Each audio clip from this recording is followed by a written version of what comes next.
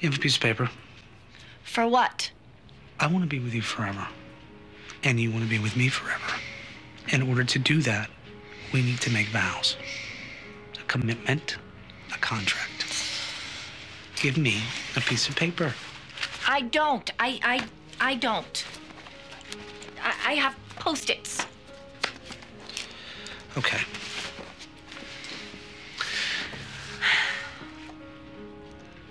What do we want to promise each other?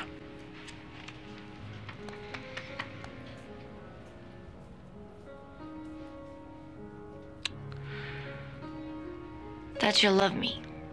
Even when you hate me. To love each other, even when we hate each other.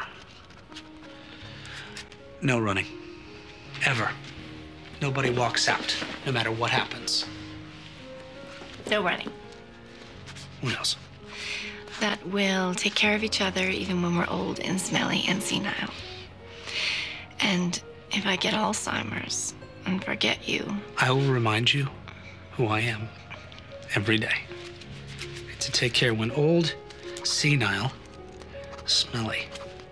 This is forever.